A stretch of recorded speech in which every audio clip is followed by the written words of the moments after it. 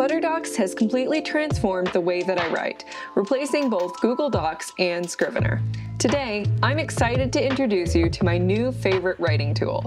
In this video, I'll walk you through why I love ButterDocs, show you some of its standout features, and give you an exclusive look at how it's helping me craft the next book in the Shadows Creed saga. Before I get into the video, I thought it might be helpful if I let you know what I'm looking for in a writing software, just so you know if ButterDocs might be something that you also would like. So the most important thing for me when I'm writing is I need the ability to move and shuffle things around. If you've used Google Docs, you might already know that it's not a very easy program to move things around, so I very rarely draft anything other than short stories and I never have in the past. It's always just been short stories, and I did write my novella in there, which only had about six or seven chapters, and it wasn't the huge headache that my normal book is. I'm going to show you what my normal process is in a second, so you'll could actually see that. I also really just I need something that's going to contain my disorganization since I write as things come to me.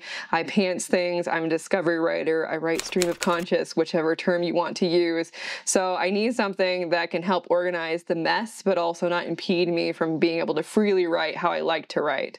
Another thing I really like is color coding, and when I do get to restructuring and editing my book, and after I'm done writing it, I really like to be able to color code things. Um, this is especially true for like chapters, if I can distinguish which which ones are good to go, or which ones need to be re edited, or which ones need to be written completely over again.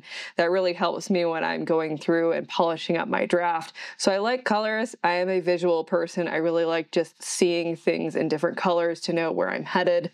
I've also really gotten used to using cloud based software recently, so I really wanted something that I could access from my laptop and my desktop. And I just also really like the security of having something saved automatically to the cloud, so I don't have to worry about saving and power outages or something happening as I'm drafting. Finally, this is a wish list item for me. I've always wanted to be able to write and edit in the same program.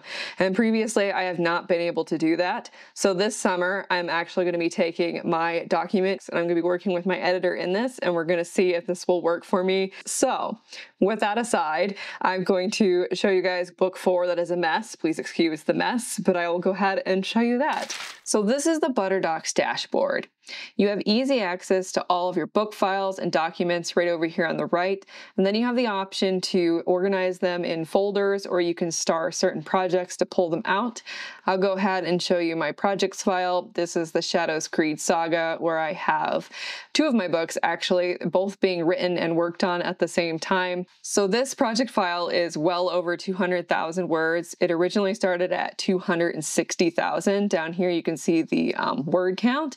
So I've cut about 50,000 already. And this program has been able to keep up with me. It hasn't slowed down at all, which is great. I tried this program about a year ago when it was announced because I originally learned about it because the people that make ButterDocs created Arc Studio and I used that to do a screenplay and I really, really liked the way that it wrote. It was very streamlined and I loved the interface. So I was really curious about what they were going to do. So last year when I tried to copy and paste and import book four from Scrivener, it was a little slow. I'm happy to report it has been able to keep up with me. Nothing slowed down while I'm copying and pasting. It just takes a little bit at the beginning, which is completely understandable. It's syncing things and fetching it from the cloud. So this is my first chapter of my book, and over here on the left, you can see the table of contents. And one of the first things you'll notice, and one of my favorite things, is the status icon. It, you can color code it. They just recently added this where you can create custom statuses. And I also have to say, I really like ButterDocs' customer service. I had an issue, it was a bug where the statuses weren't staying. So I emailed them, and about three days later, I could tell when I opened it up that they were working on it because this red dot is a custom status for me. And I was trying to edit my chapter. So things I need to add to, I put this rad status bar. Uh, and when I was doing the different statuses, it was disappearing. And then a couple days later, it was stayed there. So I was really excited that they worked on it. It took them like maybe a week to get it fixed. I'm so excited because I really, really needed that function. Uh, as you can see, I have a lot of chapters in this book. So just being able to color code things is very beneficial for me. In the past, I have uh, put add here, which I started doing when I was having issues with the status not being able to change. I would just write add or write that I still needed to write. But now you can see the set status. I have different options. I'm still kind of fine tuning what I want to call them and what the colors I want. So it's not a perfect system yet. It's probably going to take me until when I go back to book five to kind of perfect it. And once I kind of get something going, I'll show you just so you can maybe adapt and use stuff for your own um, for your own writing. So over here is where all of my chapters are. And you might have noticed that there are some of these blocks that have this gray text. So ButterDocs uses things where they put blocks in text. Uh, let me just jump down. So if you're reading my series, this might be slight spoilers. So um, just caution, there might be some spoilers. So these blocks, you can see I highlight this and this section over here will actually become a slightly lighter gray. So ButterDocs works in blocks. So you'll write in a block and then you can take that block and you can move it. So basically the same thing like how scenes function uh, in Scrivener is how they function in this. And then these would be basically kind of like your folders if you're kind of moving from Scrivener. For me, these gray ones aren't officially named. They kind of live here uh, they're in limbo right now is what they are for me. So anything that's not white is kind of something I want in there, but I don't know where it's going to fit. And you can see add somewhere right there. Uh, so you can see that does there. This right here is really cool. So this is the commenting function in ButterDocs and they show up as these little circles and what I use my comments for right now is I'm going through my books and I want to just check to make sure that what I am referring to is accurate. So when I'm writing, I'll I'll I'll uh, this might not be the best way to do it. I'll use my best knowledge, my best guess if something is right. And then I will later check it when I'm editing and I'll put check, is this accurate? You know, blah, blah, blah. Did this person do that? And so you can see these little comments that will appear. This is where I'm hoping that the comments will work really well for editing. You can assign uh, the comments to another person. So I can actually put the comments to my editor and be like, can you double check this? And then it will show up on her uh, queue to kind of take care of.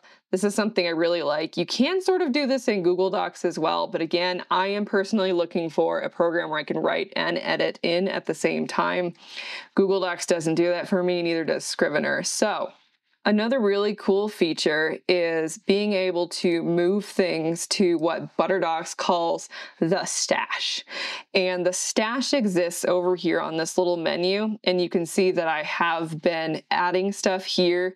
Uh, this is basically just text that doesn't belong in my book, but I still want to keep it and hold on to it. And I actually cut uh, a couple of chapters from my book uh, right here. This is an entire chapter that just is existing out of here because I didn't want it in my table of contents. So I moved that into my stash and it's really easy to do. You can just hit this stash button, select it, and then it will move into the stash. If you made a mistake, you can just hit Control Z and then it will replace itself. Let me go and find where we were just so you can see there it is. Okay, that was the section I put my stash. Sometimes it jumps up to the front of the document, other times it won't move me out of there. Just to show you how easy it is to move things around, if you left click on one of your chapters, you can see it's going to move down in my table of contents. If I just let go of it and give it a minute, it's going to change and swap itself down.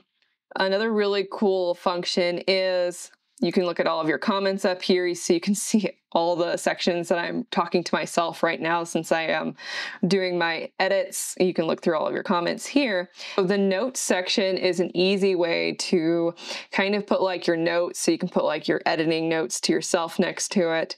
You could also put like your research material if you're writing historical fiction or if you're doing a blog post or something that needs to do research.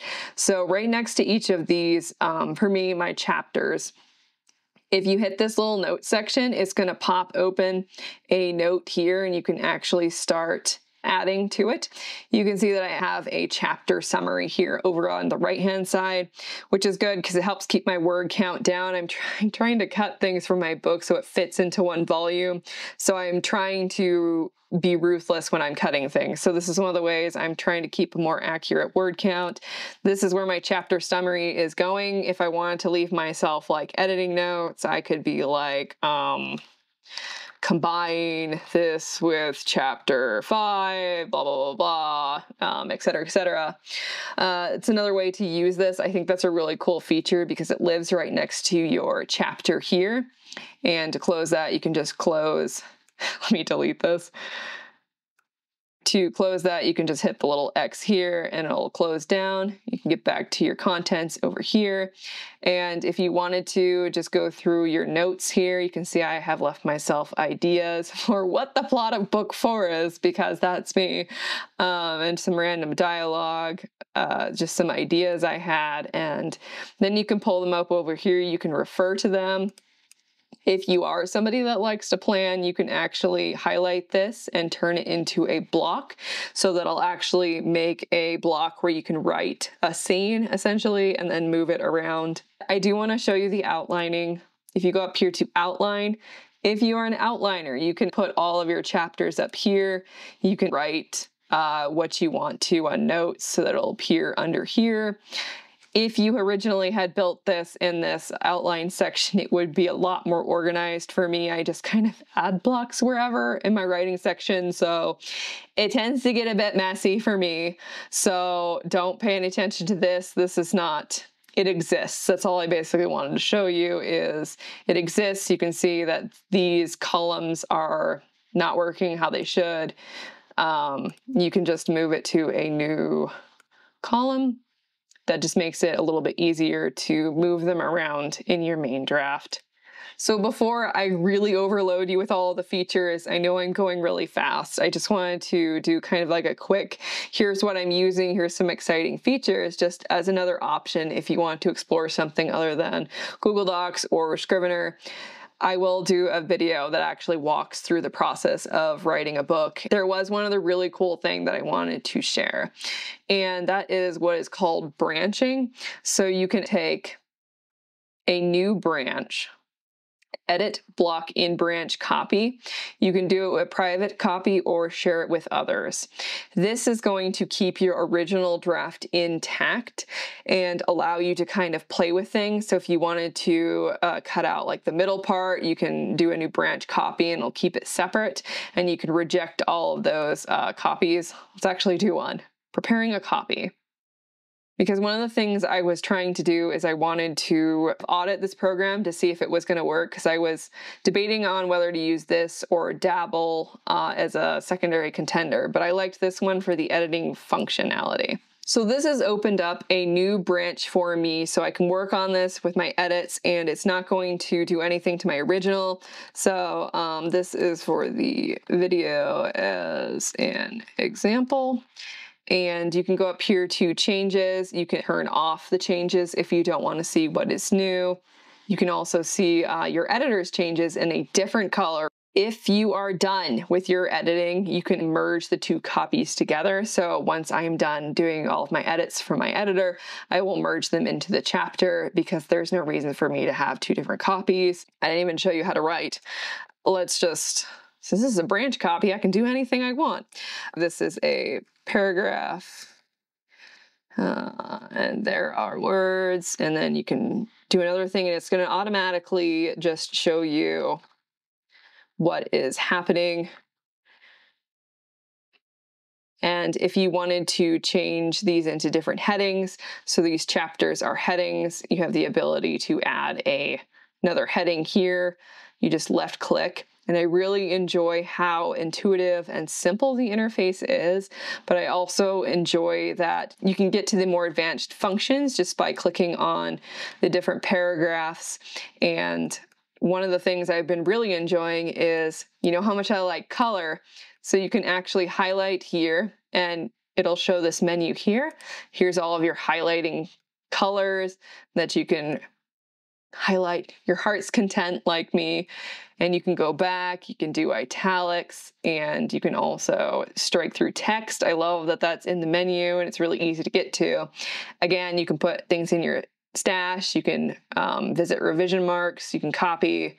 This allows you to insert a footnote if you are writing a historical comment or also just to add a comment right here.